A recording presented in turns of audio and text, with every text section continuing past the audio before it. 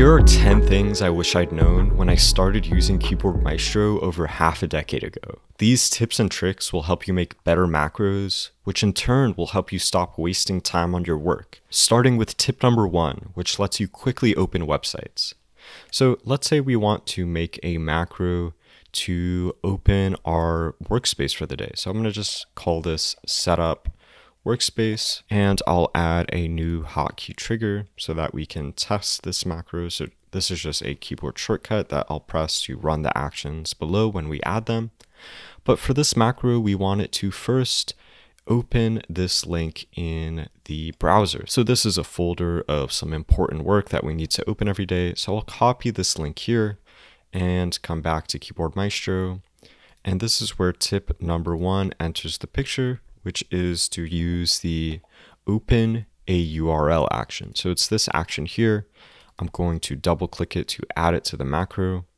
And now I can paste in that link that I just copied. So this action will open the URL with the default application, which will be whatever browser we use by default, but you can also change it to a specific browser if you want. So now I'll run this hotkey trigger. I'll press the hotkey and you can see it opens that website in the browser, which is pretty handy. All right, but what if we want to add a couple more steps to this macro? It's trying to set up our workspace, and there's a few other things that we need to do every day. So I've talked about before how you can use the record button. If you press this record button down here, it will start a countdown timer from five, and then any clicks you make, any keystrokes you press will get recorded in the macro. Well, tip number two is that if you hold the option button on your keyboard and press record, it will skip that countdown timer. So sometimes you know exactly what you need to do, or there's no setup required, so you don't need that timer. Well, you can just press option while you press the record button, and it will immediately begin recording the actions you make. So the next steps in this workspace macro are to open the calendar, and go to the weekly view. So I'll press record with option and I'll come down and open the calendar. And then I'll press command 2 to open the weekly view to see my schedule. So looks like we're right on task.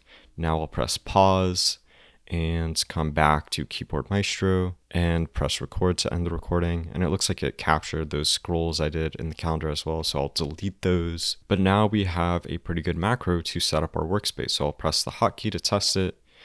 It opens the folder in the background and then opens the calendar to the weekly view. So this is a great start to this macro. Right now we have it set to a hotkey trigger, which means that we have to manually press this every time we want to set up our workspace.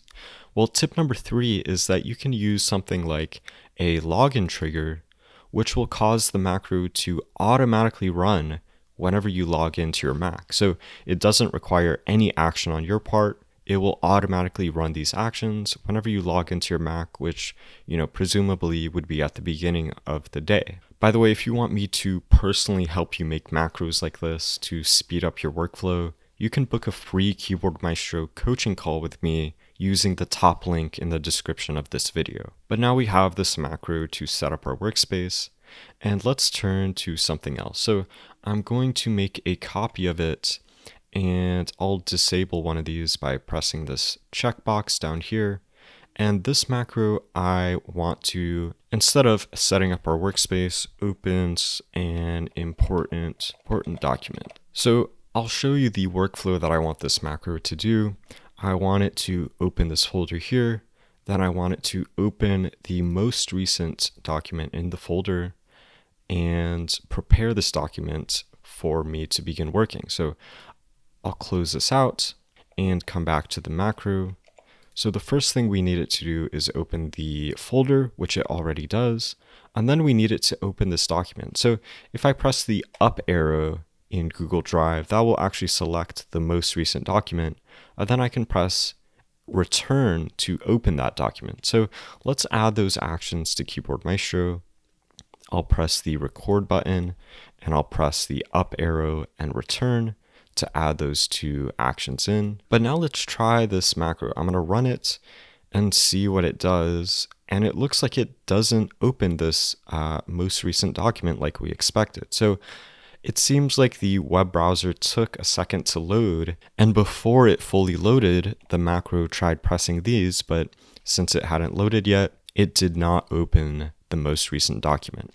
So this is where we can use tip number four, which is to add a wait until the front browser has finished loading action. So what this action will do is it will wait until the whatever the front browser is has finished loading for at least this period of time here. Now, it's a bit ambiguous when browsers finish loading sometimes because, you know, often they will finish loading, but then they'll start loading more content afterwards. So that's why this action lets you enter a time here. It will wait until at least this much time has passed and the browser is not loading anything else before it continues to the actions below. So maybe I'll set this to two seconds and now I'll press the hotkey to run the macro. And you can see this time it waited for the browser to finish loading before it did those keystrokes to open this document here, which is great. All right, so you can see in this document that every day I have to type the current date and then I have some notes below it. So let's add that to our macro to have it type the current date out. So back in Keyboard Maestro, I'll add a new action. And by the way, you can press Command Control A to search for an action by name instead of adding it with the pop-up window here. So Command Control A, and I will search for insert text by typing and press enter to add that action. So tip number five is that you can have Keyboard Maestro insert the date dynamically. So whatever the current date is, if you want to have that added, you can come and press insert token, then come to date. And there's some different formatting options here, but for this example, I'll select short date. And you can see that inserts uh, what's called a token here. I have a whole tutorial on tokens if you want to learn more about them, but basically this will just insert the current date.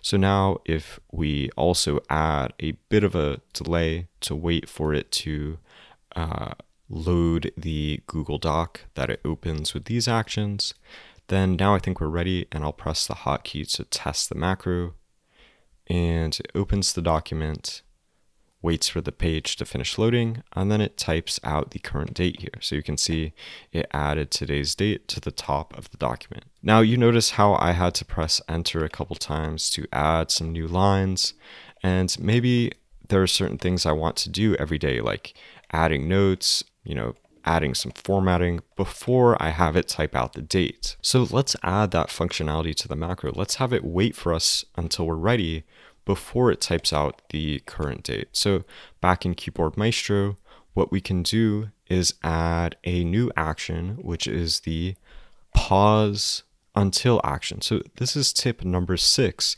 to use the pause until action with a key condition. So the key condition here what this will do is it will wait until we press a certain key on our keyboard before it continues with the actions below it. So here I'll press a keystroke like F3, but you could put any keystroke you want here. So this will now pause until F3 is pressed before it types out the current date. And since we're waiting until we press F3, we don't actually need this action here to wait for the front browser to finish loading. Um, in fact, it seemed like it was taking a while, so we could even lower it to one second for the one before. So now what this macro is saying is it will open our Google Drive folder, then it will wait until that loads, and then it will open the most recent document, and then it will wait until we press F3, and then it will type the current date. So I'm going to press the hotkey and run this macro, and now at this point, it's waiting for us to press F3, but I'm gonna do some things first. I'm going to add some notes and I'm going to add a few blank lines. And now I'm ready for it to insert the date. So I'll press F3 and you can see it immediately inserts the date. It runs the action after this pause until action, which is to insert the date. I've talked before about how you can add a timeout to certain actions so that it's not just waiting for you forever. So if you right click on the action and press set action timeout,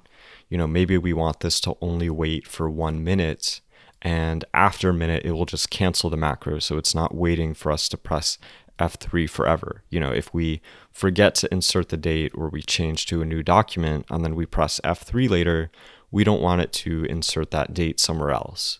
So if we don't insert it within a minute, it will just cancel the macro at this point. But maybe there is a case like that where you run it and then you forget to press F3 and you can't remember what macros are running or not. Well, that brings us to tip number seven, which is that you can see if a macro is running if this status menu icon is rotating. So the keyboard maestro engine icon will rotate if a macro, any macro is running at the time. So if you click on it and you come down to the cancel action, you can also see here which macros are actively running. So if I scroll down to it, you can see it says setup important document which is the macro that's currently running. And if you press this, it will cancel that macro in particular. So I'll press it and the status menu is no longer rotating, which means no macros are running. Now this naturally brings us to tip number eight, which is to make a dedicated macro to cancel all macros. So I'll call this cancel all macros and I'll add a hotkey trigger of something that I'll remember like control option zero. And then below we can add an action of cancel all macros. It's just a single action.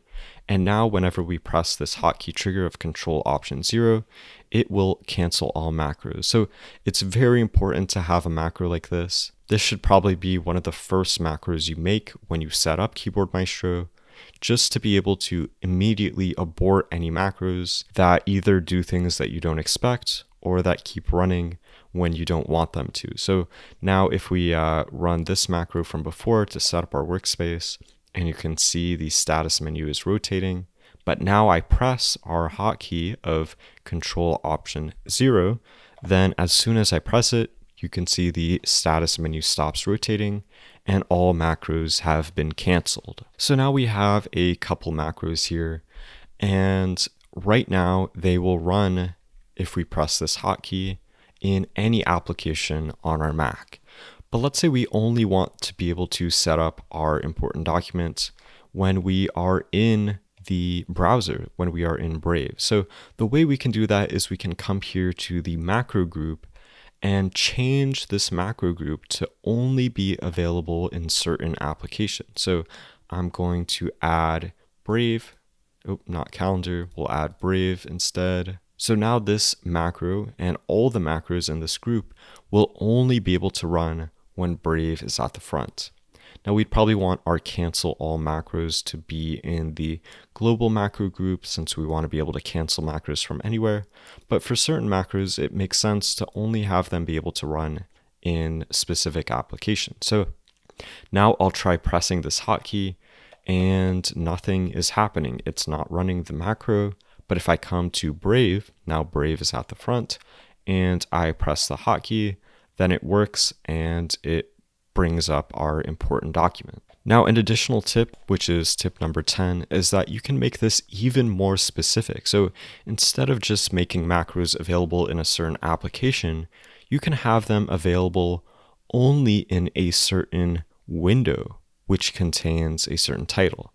So if you did something like available when a focused window title contains, we could make this available when maybe we want it to only be available when there's Google in the title. So this window here says Google on it, but this window here, well, it's not Brave, so it wouldn't work anyway, but it does not contain Google.